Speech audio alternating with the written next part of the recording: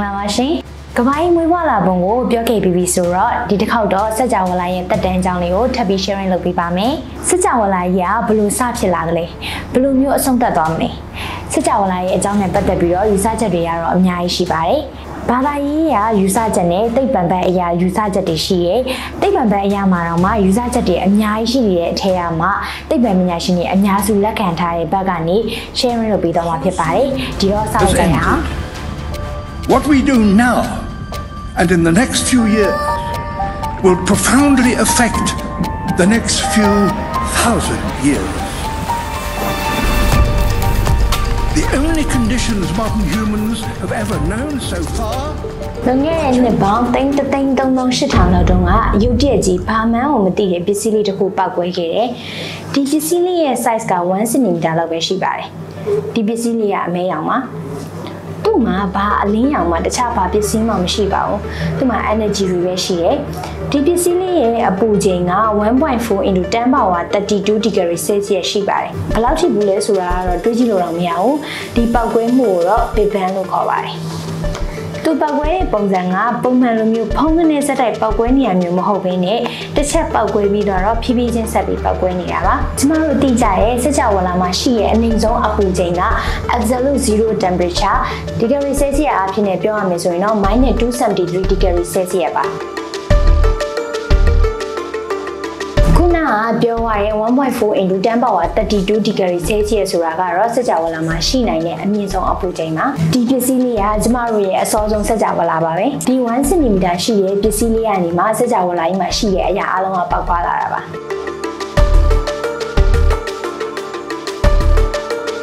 ဒါဆိုဒီ1 cm ရှိတဲ့ပစ္စည်းလေးရဲ့ပြင်မှာဘာလို့ရှိလဲအဲဒီပစ္စည်းလေးကဘယ်ကနေဘလို့ဖြစ်လာလဲ ပြီးတော့ဒီ1 cm ကဘာလို့ရှိနေရလဲဒါနဲ့ပတ်သက်ပြီးဆွေးနွေးခြင်းနဲ့ဆိုရင်တော့နောက်ဗီဒီယိုမှာပြပြပေးမယ် ဘာမှမရှိတဲ့နေရာကြီးကနေဒီ1 cm size လောက်ပမာဏပောက်ကွဲထွက်လာဖို့အတွက်10 power -32 စက္ကန့်လောက်ပဲကြာမြင့်ပါတယ်ဒီ10 power -32 စက္ကန့်ဆိုတာက1စက္ကန့်ရောက်ဖို့အောင်အများကြီးလိုပါသေးတယ်စကြဝဠာမှာအမြန်ဆုံးနှုံးကအလင်းရဲ့အမြန်နှုန်း3 × 10 power 8 meter per second ဆိုတဲ့စံနှုန်းထက်တာမှဒီ1 cm size လေးပောက်ကွဲတဲ့အမြန်နှုန်းက1 × 10 power 23တည့်ရဲ့နောက်မှာ324လုံးအောင်ဆိုတော့ဂတိပေါင်းမြောက်များစွာအောင်အစပိုးမြင်ပါတယ်ဒီ speed ကဘယ်လောက်ထိမြန်လဲဆိုတာမသိနိုင်ဘူးဆိုတော့နှိုင်းချင်ပြပေးပါမယ်စက်ကြဝဠာကြီးကဒီအမြန်နှုန်းနဲ့ဒါဆက်ပြီးကျေပြန့်လာမယ်ဆိုရင်ယခုဒီလောက်ကြီးမားတဲ့စက်ကြဝဠာအနေထားရောက်ဖို့အတွက်ကို0.0001စက္ကန့်လောက်ပဲကြာမြင့်မှာပါဒီအခုနေထိုင်နေတဲ့စက်ကြဝဠာအရွယ်အစားဖြစ်လာဖို့အတွက်ကိုနှစ်ပေါင်း3300လောက်ထိတောင်ကြာမြင့်နေဆိုတာဖြစ်တဲ့အတွက်ဒီလိုအမြန်နှုန်းနဲ့အဆက်မပြတ်ပောက်ကွဲကျေပြန့်လာတာမျိုးမဟုတ်ဘဲနဲ့သူ့ရဲ့ပောက်ကွဲနိုင်မှုအရှိန်နှုန်းကိုရှော့ချလိုက်ပြီးတော့ဖြည်းဖြည်းချင်းပောက်ကွဲလာတာဖြစ်တဲ့အတွက်ကြောင့်ဒီလောက်ပဲကြာမြင့်တာဖြစ်ပါတယ်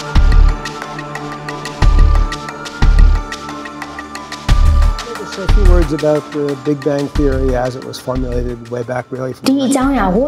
1980မှာ American သိပ္ပံပညာရှင် Alan Harvey Good ကသုံးသပ်ခဲ့ရပါ။သူက Massachusetts Institute of Technology MIT က Professor သိပ္ပံပညာရှင်တစ်ယောက်ပါ။ပြောခဲ့တဲ့အကြောင်းအရာအလုံးက physics နည်းအရတွက်ချက်ထားတာပါ။တခြားအရာတွေလိုမျိုးလုံးနဲ့ကြည့်ုံနဲ့မြင်ရတဲ့အရာမျိုးလည်းမဟုတ်တဲ့အပြင်ကမှအဲ့ဒီအချိန်စကြဝဠာကအမင်းအောင်ဖြစ်နေတယ်။ဘာလို့မမြင်ရတာလဲဆိုတော့စကြဝဠာမှာအလင်းမရှိလို့မမြင်ရတာပါ။ကြည့်ရင်လည်းမမြင်ရနိုင်တဲ့အတွက်သိပ္ပံပညာရှင်တွေရဲ့တွက်ချက်သုံးသပ်ချက်တာဖြစ်ပါတယ်။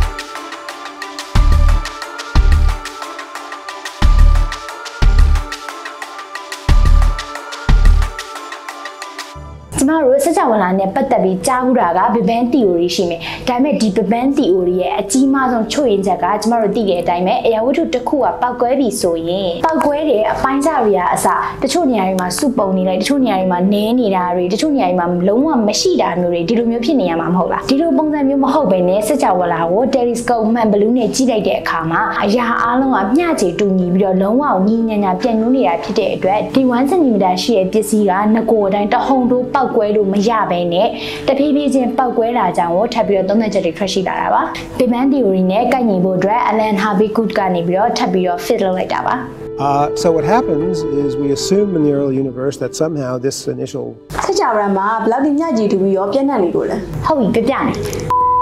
ဘယ်လိုလဲဆိုတော့နံပါတ်1တိတ်ပံပညာရှင်တွေကမှန်ဘလူးနဲ့စကြဝဠာကိုကြည့်လိုက်တဲ့အခါမှာဘယ်နေရာကနေကြည့်ကြည့်ကိုမြင်ရတဲ့အရာတွေမှန်သမျှတူညီစွာပြန့်နှံ့နေအောင်တွေ့ခဲ့ရတာပါနံပါတ်2စကြဝဠာကြီးရဲ့ဘယ်နေရာမှာမဆိုတူညီတဲ့ physics method တွေကိုသုံးလို့ရတယ်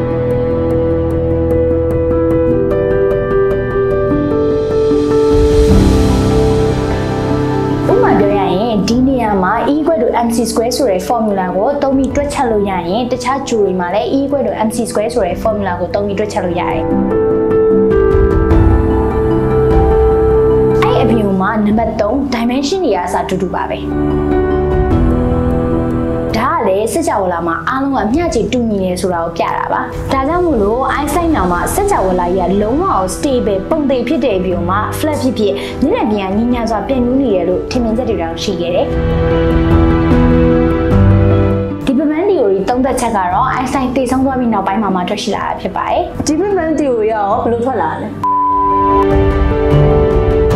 ဒီပမန် theory က Edwin Hubble University of Chicago က professor ကနေ telescope နဲ့ကြည့်လိုက်တဲ့အခါမှာစကြဝဠာမှာရှိတဲ့အရာရာတိုင်းကပိုပြီးဝေးသွားတာကိုတွေ့ခဲ့ရတဲ့အတွက်ကြောင့်ပုံမကျယ်ပြန့်လာတယ်ဆိုတာကိုတွေ့ရှိခဲ့ရတာပါ။ဘယ်လိုလဲဆိုတော့ဘူစီပေါင်းမှာအမှတ်နှစ်ခုမှတ်ပြီးတော့ပြပေးမယ်။ဒီအမှတ်တွေကဘူစီပေါင်းဒီတိုင်းဆိုရင်နီးနီးလေးမြင်ရတယ်။ဘူစီပေါင်းကိုမှုတ်ရင်မှုတ်ရင်လည်းဒီဘူစီပေါင်းကကြီးလာတဲ့အခါမှာတော့အဲ့အမှတ်နှစ်ခုကပိုပိုပြီးတော့ဝေးသွားတယ်။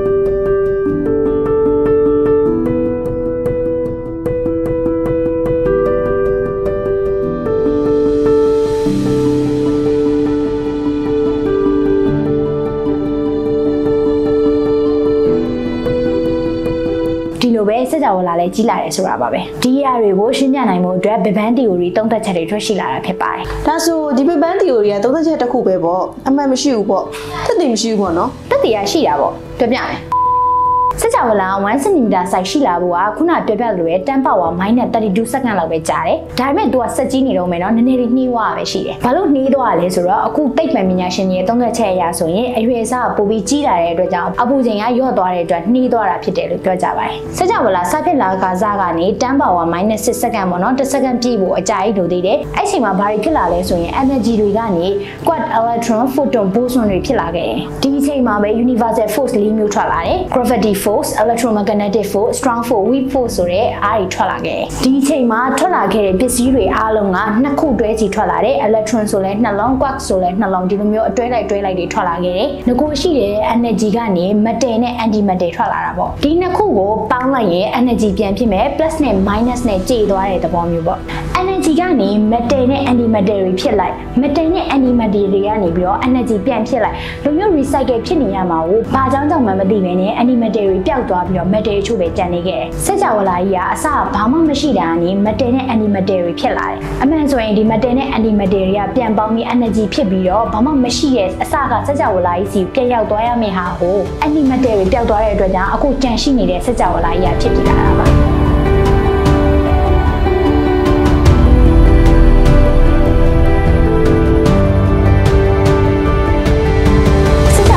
တည်လာပြီး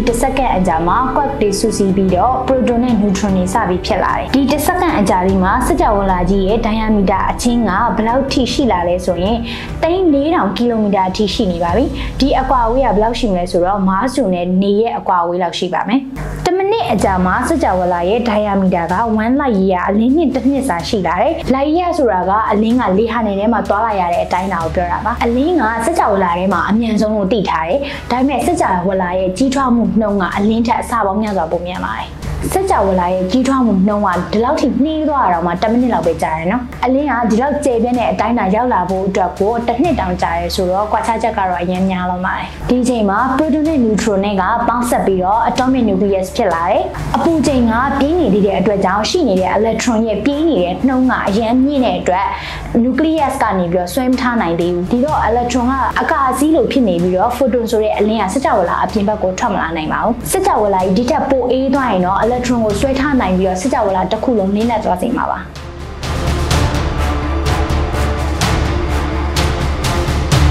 ချိန်တုန်းကစကြဝဠာရဲ့အပူချိန်ကသိန်းပေါင်း3သိန်းဒီဂရီဆဲလ်စီယပ်အထက်မှာရှိတဲ့အတွက် electron ကအရန်ပြေးနေနိုင်တယ်။ nucleus ကက electron ကိုဆွဲထားနိုင်မှာ atom ဆိုတာရှိတာမှာဒီတော့ဒီချိန်ထိ atom ကမရှိသေးပါဘူးစကြဝဠာကတဖြည်းဖြည်းပိုကြီးလာပြီးအပူချိန်လျော့လာမယ်တန်းညာ3000ဒီဂရီဆဲလ်ဆီယပ်ရောက်လာတဲ့အချိန်မှာတော့ electron ကို atomic nucleus ကဆွဲထားနိုင်ပြီးတော့ photon တွေကအပြင်ကိုထွက်လာနိုင်ပြီးစကြဝဠာတစ်ခုလုံးကိုလင်းလက်သွားစေခဲ့ပါတယ်ဒီဖြစ်ပျက်ကစကြဝဠာဖြစ်လာပြီးနှစ်ပေါင်း3,800အကြာမှာဖြစ်တာပါဒီလိုစကြဝဠာဖက်ကနေလင်းသွားတဲ့အချိန်မှာပဲခုနကမေးခဲ့တဲ့ Big Bang theory ရဲ့တက်တွေကိုပြနိုင်ခဲ့တာပါ the ground, even the solar system, because စကြဝဠာရဲ့ပုံရိပ်အလင်းထွက်လာတာကိုအမှတ်မထင်သိရှိခဲ့ရတာပါစကြဝဠာကဖက်ခနဲ့တစ်ချက်လေးပြီးပြန်မှိန်သွားတယ်ဒီတော့အတမ်တွေကစကြဝဠာပေါ်မှာမြူတိုင်းပဲပြန့်နှံ့သွားခဲ့တယ်ဒီလိုနှစ်ပေါင်း350လောက်မြူတွေပြန့်နေတယ်အဲ့ဒီချိန်မှာပဲအတမ်တစ်ခုနဲ့တစ်ခုစုလိုက်ပြီးတော့အလင်းတစ်ခုထွက်လာပြီးတော့ကျယ်လေးဖြစ်လာစေတယ်စကြဝဠာရဲ့ပထမဆုံးကျယ်လေးပေါ့ဒီလိုကနေစကြဝဠာကြီးကလင်းလာတယ်ဒါပေမဲ့အဲ့ဒီကျယ်လေးကအခုတော့မရှိတော့ဘူးသူဖြစ်လာပြီးနောက်ထပ်နှစ်ပေါင်း350မှာပဲပောက်ကွဲသွားပါတယ်သူ့ကိုတော့ population 3 star လို့ခေါ်ပါတ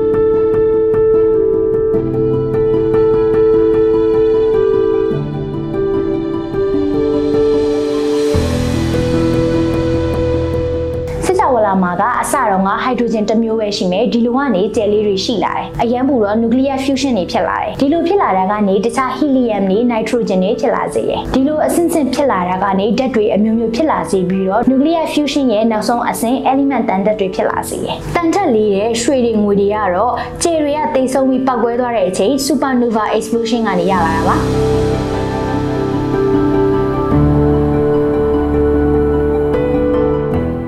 စကြဝဠာမှာရှိတဲ့ hydrogen ကလွှဲရင်ကျန်တဲ့ elements တွေ dressing တွေအကုန်လုံးနှီးပါကကျယ်လေးတွေကနေဖြစ်လာတာပါဒါဆိုငါတို့အခြေလေးတွေပေါ့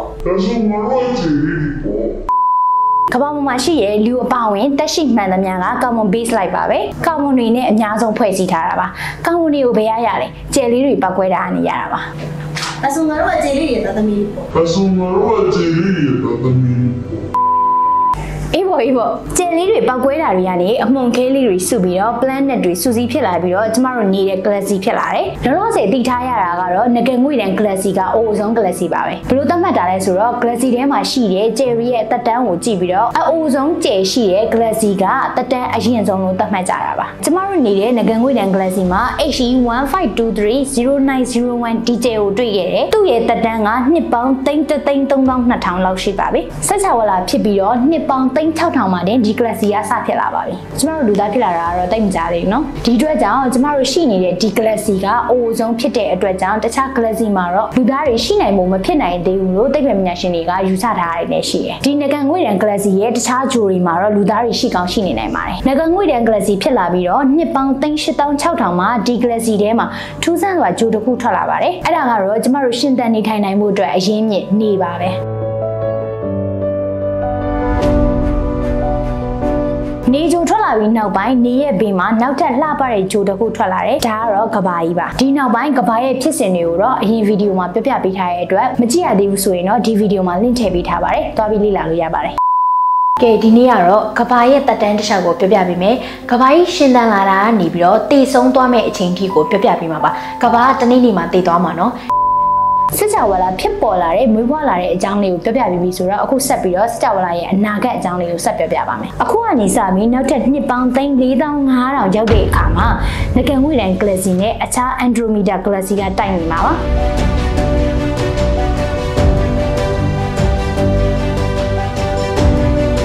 အဲ့ဒီအချိန်မှာတော့ကဘာမှာလူတွေကမရှိတော့ပါဘူးအရင်ကပြောခဲ့တဲ့အတိုင်းနေရတနည်းနည်းတစ်ချိန်ချင်းကြရင်ကဘာကိုစားသွားမှာပါ ဒီ galaxy နှစ်ခုတိုက်တာကတရေခွေးဆွဲသလိုပဲတိုက်လိုက်ကွာလိုက်တိုက်လိုက်ကွာလိုက်နဲ့အဲ့လိုမျိုးနှစ်ပေါင်း3000ကြာအောင်တိုက်ပြီးမှ stable ဖြစ်သွားမှာပါအဲ့ဒီအချိန်ကိုရောက်လာခဲ့ရင်တော့စကြဝဠာကအရန်ကြီးနေပြီး galaxy တွေကလည်းတစ်ခုနဲ့တစ်ခုအရန်ဝေးသွားပြီဒီလိုဝေးသွားတော့ကောင်းကင်ဘုံမော့ကြည့်ရင်လည်း cherry ကိုမြင်ရတာနည်းသွားမယ်ကျမတို့ galaxy မှာရှိတဲ့ cherry ကိုပဲမြင်ရမယ်တခြား cherry ကိုမမြင်ရတော့ဘူး galaxy ကလည်းထပ်ပြီးကြီးလာနေအောင်ပါအဲ့ဒီအချိန်မှာလူသားတွေရှိနေနိုင်ခဲ့သေးလို့မှကျမတို့က knowledge ကိုမချန်ထားပေးခဲ့နိုင်ဘူးဆိုရင်အဲ့ဒီအချိန်ရဲ့လူသားတွေကတော့ဒီ galaxy ကစကြဝဠာတစ်ခုလုံးလို့ထင်နေပါလိမ့်မယ်တခြား galaxy တွေရှိမှန်းအောင်သိမှာမဟုတ်ပါဘူးကျမတို့ရဲ့ galaxy ကလည်းကြီးလာအောင်ပါဒီလိုဆိုတော့ cherry ကလည်းဝေးကွာသွားပြီးတော့ဘာမှတွေ့ရတော့မှာမဟုတ်ဘူး cherry ကိုလည်းမမြင်ရတော့ဘူးကောင်းကင်ကိုမောကြည့်လိုက်ရင်လည်းအမဲရောင်ဟင်းလင်းကြည့်ဖြစ်နေတော့မှာပေါ့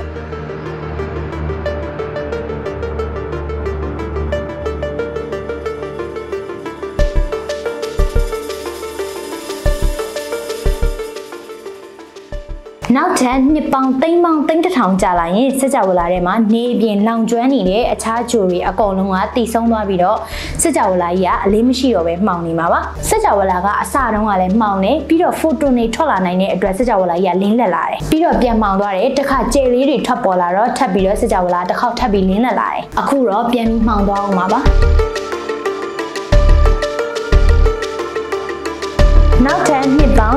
34တည့်ရနောက်မှာ335လုံးရှိမယ်ကိန်းကနဲ့နှစ်လောက်ရောက်လာတဲ့အခါကျရင်တော့စစ်ကြောလာမှာရှိတဲ့ metal တွေ atom တွေအကုန်လုံးကပြုတ်ကွဲသွားမှာပါဘာလို့ဆိုစစ်ကြောလာကထက်ကြီးလာပြီးတော့ atom တွေကနေ proton neutron တွေဖြစ် proton neutron တွေကနေပြီးတော့ electron quark တွေပြန်ဖြစ်လိုက် energy တွေပြန်ဖြစ်လိုက်နဲ့အစကလိုမျိုးပြောင်းပြန်ပြန်ဖြစ်ပြီးတော့ဘာမှမရှိတဲ့စစ်ကြောလာကြီးပြန်ဖြစ်လာမှာပါ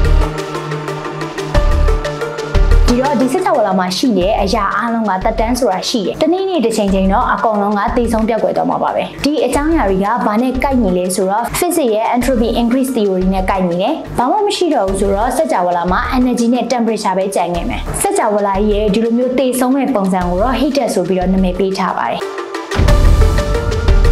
စကြဝဠာစဖြစ်တာကနေတိမ်မဲ့အချိန်ထိကနှစ်ပေါင်းတန်းပါဝါ100လောက်ထိကြာပါမယ်ဒီဟိတက်ကစကြဝဠာတိတ်ဆုံးသွားမဲ့ပုံစံတွေထဲကသိပ္ပံပညာရှင်တွေအများအဖြစ်လက်ခံတဲ့ပုံစံတစ်ခုပါပဲနောက်ထပ်ပုံစံတစ်ခုကတော့စကြဝဠာကထပ်ပြီးတော့ကြီးထွားမလာဘဲနဲ့တဖြည်းဖြည်းနဲ့ပြန်ပြီးသေးသွားမလားဆိုတာပါပဲပြန်ပြီးတော့သေးလာခဲ့မယ်ဆိုရင်တော့စကြဝဠာရဲ့တိတ်ဆုံးမဲ့ပုံစံကပြောင်းလဲသွားမယ်စကြဝဠာရဲ့တိတ်ဆုံးမဲ့ပုံစံကတော့စကြဝဠာကြီးလာမလားသေးသွားမလားဆိုတဲ့ပုံမှာမူတည်ပါတယ်စကြဝဠာရဲ့အားတစ်ခုခုကြောင့်သေးသွားပြီးကျုံသွားမယ်ဆိုရင်တော့ဂျူရီရောအားလုံးစုပြီး black hole ဖြစ်လာစေပြီးတော့အကုန်လုံးပြတ်ကွယ်သွားမယ်။ဒီမှပြန်ပြီးထပ်ပေါက်ကွယ်လာမလားဆိုတာကတော့မပြောတတ်ပါဘူး။ပေါက်ကွယ်ထွက်လာပြီး recycle ပြန်ပြီးဖြစ်လာမလားလူတွေရောပြန်ပြီးဖြစ်လာနိုင်အောင်လားစစ်ကြဝဠာရဲ့ဘယ်နှကြိမ်ရောက်မှဖြစ်လာနိုင်လဲဆိုတာလည်းမသိနိုင်ပါဘူး။